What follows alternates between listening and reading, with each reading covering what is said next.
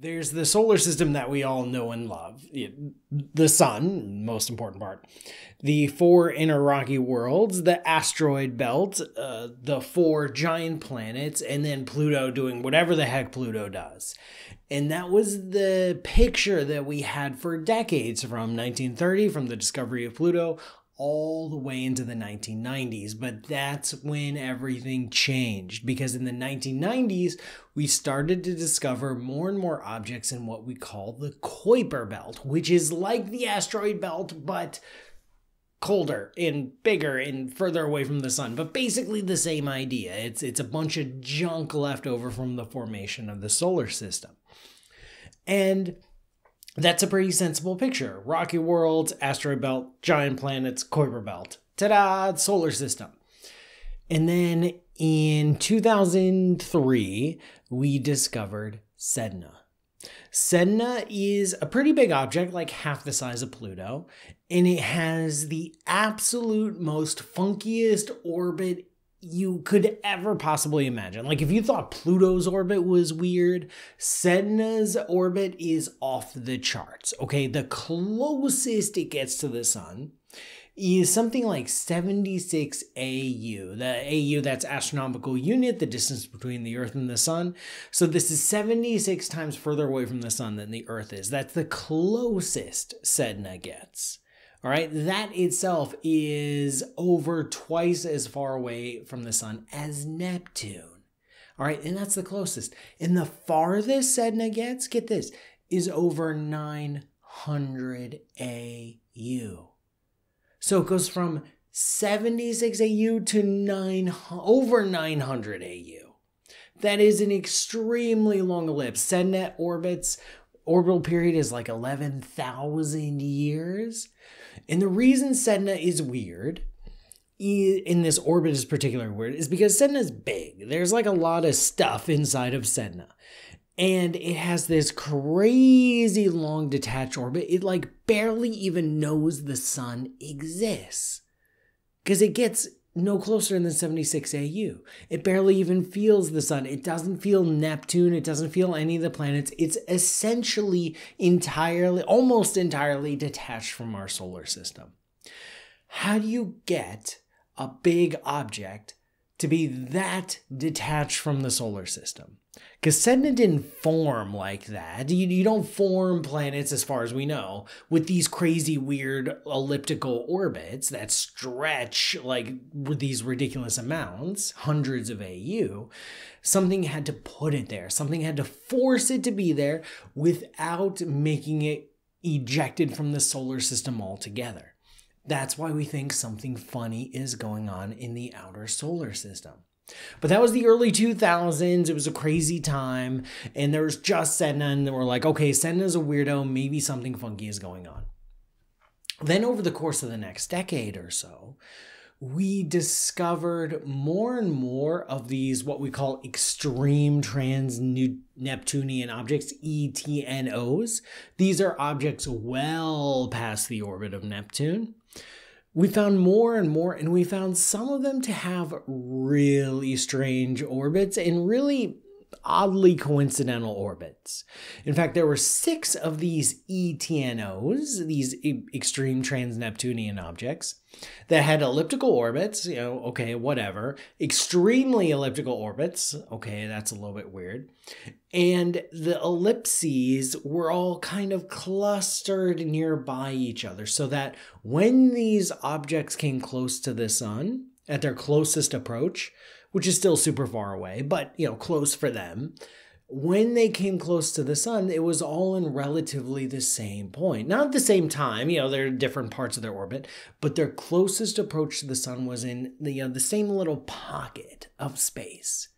And that's odd.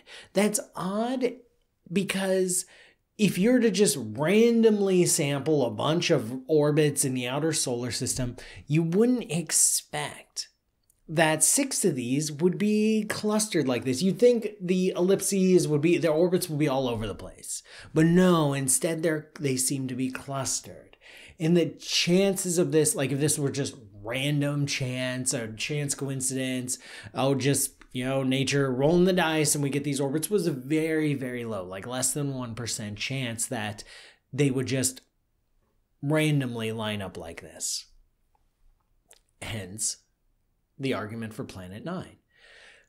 There has to be, as, as this argument goes, there has to be something out there, a large planet, like say five to 10 times the mass of the Earth, and through its gravitational effects, it's shepherding these extreme trans Neptunian objects to give them the clustering of that orbit. Because there's nothing, uh, there's nothing else out there these objects are so far away from the sun, so far away from the rest of the solar system that they don't even feel the effects of Neptune. So it's not like Neptune's gravity can do any shaping or sculpting out there.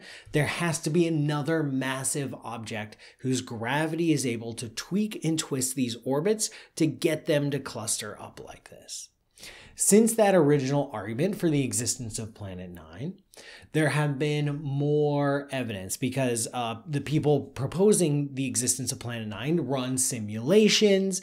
They like they build a solar system with the uh, trans Neptunian objects, and they stick a Planet Nine in there with various orbits of various masses etc., etc., run the simulation just to see how the solar system shapes out. And they found that if Planet 9 exists and it's doing its thing, it will also tweak some other trans Neptunian objects, some of these extreme objects, and actually make their orbits go perpendicular to the rest of the solar system. So it'll like kick them out and then put them on this weird orbit that goes perpendicular to everybody else.